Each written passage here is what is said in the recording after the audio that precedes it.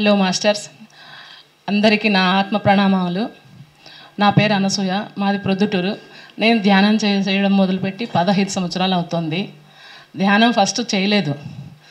ఎంతమంది చెప్తూ ఉన్నా కూడా ధ్యానం చేయకుండా దాటేస్తూ వచ్చాము. మా అక్క సీనియర్ మాస్టర్ అమ్మ ఉంది అక్క కూతురు ఉంది.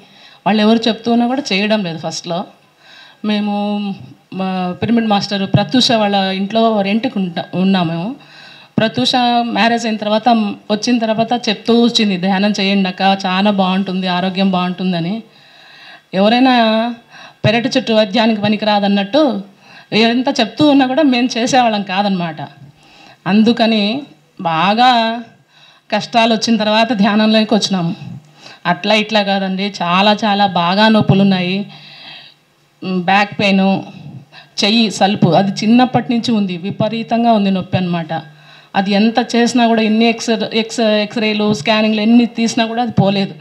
వెంట్రుక వాసి నరం అంత ఉంటుందంట అది ఏదో మెల్ట్ అయింది. ఎంత ఇవన్నీ చేసినా కూడా బ్యాక్ పెయిన్ పోలేదు ఏం పోలేదు. వీళ్ళు ధ్యానం చేయి బాగుంటుంది అంటారు. ధ్యానం చేయి అంటే ఏం చేస్తా ఉన్నా కూడా పోలేదు కదా. ధ్యానం చేస్తే పోతుందేమో చూద్దాంలే అనేసి కూర్చున్నాము. ఆ నొప్పులకు తోడు ఈ నొప్పులు కూడా ఇంకా ఎక్కువైనాయి. అది ఇంట్లో చెప్తే నీకు ఉండేటి చాలాక మళ్ళీ కొనుక్కొని తెచ్చుకుంటావా అని చెప్పని ఇంట్లో వాళ్ళు. భర్త అత్తమ్మ వాళ్ళందరూ. కానీ చేయాలనేది కొంచెం మనసులో పడింది. వాళ్ళకి తెలియకుండా ట్యాంక్ దగ్గర దొంగచాటుగా వెళ్ళి ధ్యానం చేయడం మొదలు పెడతా వచ్చినాం అనమాట దీనికి కారణం మాకు ఫస్ట్ మెయిన్ అక్క అక్క వాళ్ళ పాప ప్రతూష మేడం ఫస్ట్. చాలా ఇంట్రెస్ట్ చూపించి నేర్పించి లేదక్క నువ్వు చేస్తూ ఉండు తగ్గుతుంది అని చెప్పని చెప్పింది. చాలా రోజులు కొద్ది రోజులు బాధలు నొప్పులు ఎక్కువైనా కూడా తర్వాత తర్వాత తగ్గింది సార్. చాలా అంటే ఐదు నిమిషాలు కూడా నేను కూర్చోలేకపోతా వచ్చినాను. ఒక భోజనం చేయాలన్నా టిఫిన్ చేయాలన్నా కూడా నిల్చుకొనే తినాలా. లేదంటే స్ట్రైట్గా పడుకోవాలా. ఎంతసేపు అని నిల్చుంటాము ఎంతసేపు అని పడుకుంటాము కూర్చోలేను. అది ఏం ఎన్ని ఎక్సర్సైజులు ఎంతమందికి చూపించినా కూడా తగ్గలేదు. అది తగ్గడానికి చిన్న చిన్నగా ధ్యానం మొదలుపెట్టి అవన్నీ తగ్గించుకున్నాను. కానీ అందరికీ మెసేజ్లు వస్తున్నాయి. ఇప్పుడు మేడం చెప్పింది కదా అదొక బాధ. ఏం నాకేం కనిపించడం లేదు ఏం రాలేదు నాకు ఎందుకు ఇట్లా? నేను నేనేమన్నా సరిగా ఉండడం లేదా చేయడం లేదా అని కొంచెం బాధ ఉండేది. కానీ ధ్యానం మాత్రం చేస్తూ ఉన్నాను. ఒకసారి ప్రేమనా సార్ వచ్చినాడు. సార్ ఎందుకు సార్ నాకు ఇట్లా ధ్యానం కుదరలేదు అంటే? అవునా సరే కూర్చో ఊరికే అని చెప్పినాడు. కూర్చోబెడితే మూడు గంటల సేపు ఒకటే సిట్టింగ్ కూర్చోబెట్టినాడు. అప్పుడు మొత్తం మొత్తం కనిపించింది అనమాట సార్ అన్నాడు. కూర్చో కుదిరినా కుదరకపోయినా ఫస్ట్ కూర్చో. ధ్యానం చేస్తూ ఉండు అన్నీ బాగుంటాయని చెప్పినాడు. సర్లే అని చేస్తూ ఉన్నాం కానీ ఒక- ఒక three four days five days అట్లా అయిన తర్వాత లోపల నుంచి మెసేజ్ రావడం మొదలుపెట్టింది. ధ్యానం ధ్యానం చేస్తున్నా కదా పిరమిడ్ అనేది సారీ ధ్యానం అనే జెండాను పెట్టు ఇంట్లో అని చెప్పని. ఏంది తెలుగుదేశం పార్టీ జెండా తెలుసు కాంగ్రెస్ తెలుసు ఇవన్నీ తెలుసు. పిరమిడ్ జెండా అంటే ఏందంటే సార్ని అడిగితే ప్రేమనాథ్ సార్ సార్ ఏం సార్ ఇట్లా అంటే ఇంట్లో సెంటర్ పెట్టమ్మా ధ్యానం చేయండి అందరూ మీకు చుట్టుపక్కల ఇంటి ఇంటికి ఇంట్లో పొరుగులను పిలిచి అందరితో ధ్యానం చేయించి మీరు చేయండి అని.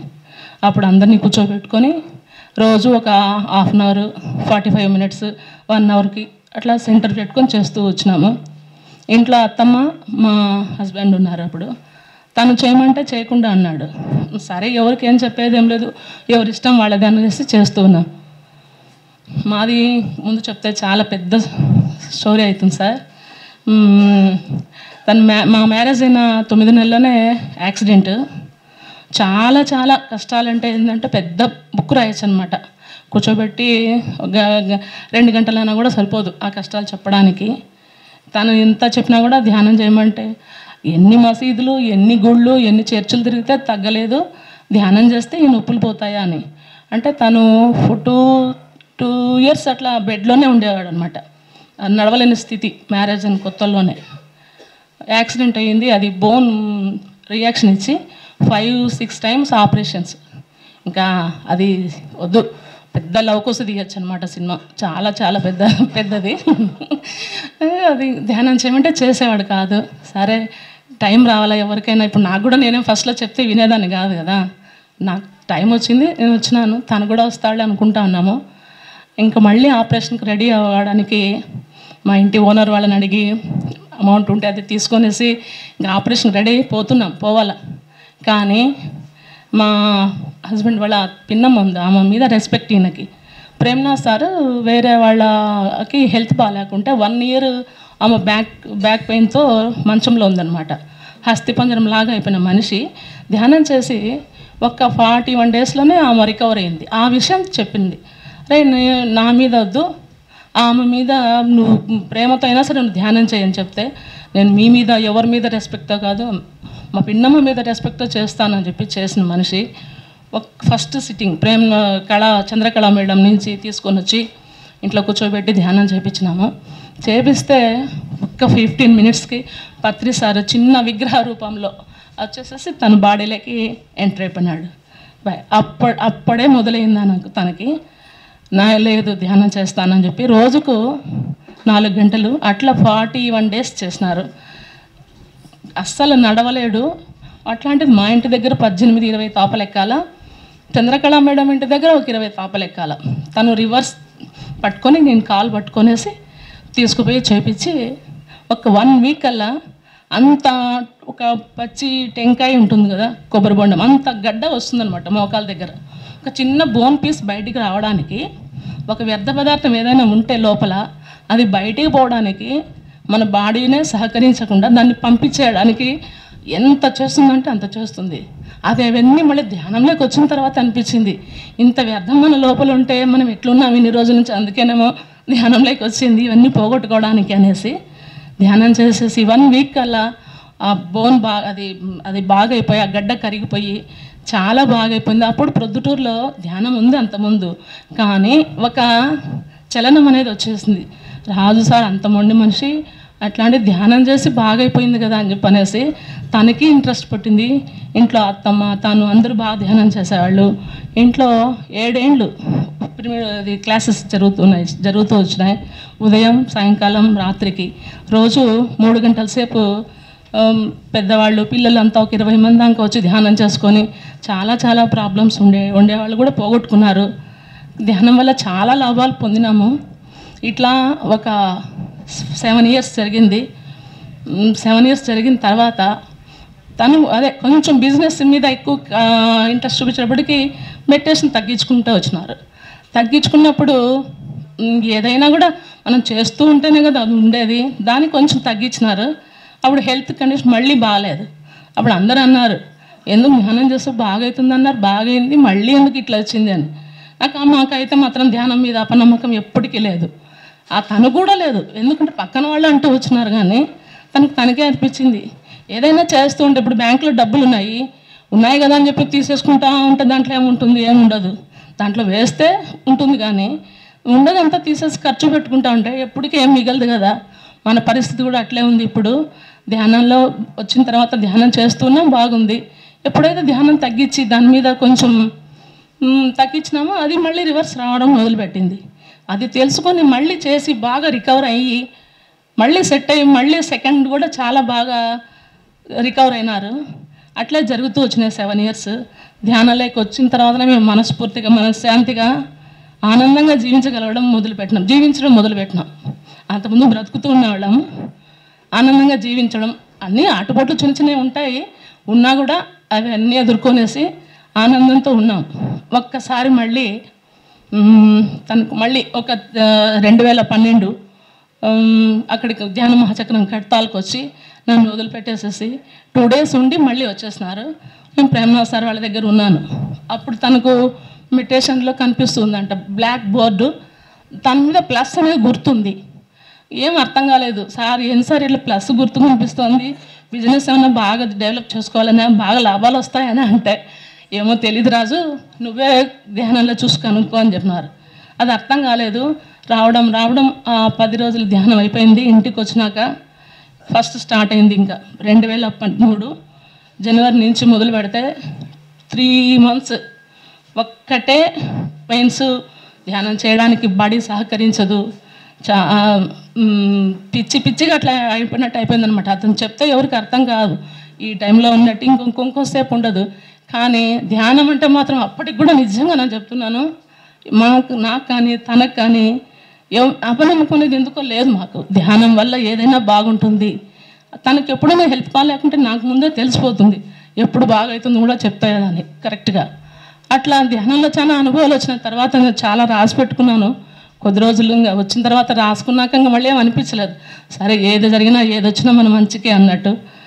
రెండు వేల పదమూడులో తను ఒక మార్చ్ మార్చి ఇరవై ఏడు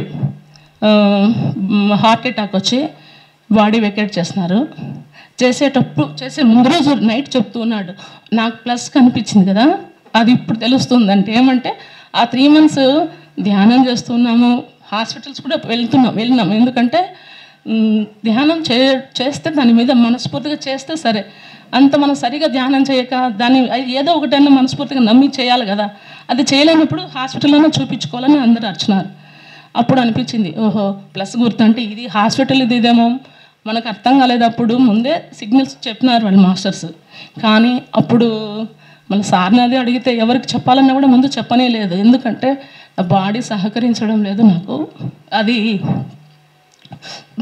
అయిపోయింది టైం దానికి అయిపోయింది. కాబట్టి ఎవ్వరు ఏం బాధపడాల్సిన అవసరం లేదు. ఇంతవరకే ఉంది నాకు అని చెప్పినారు.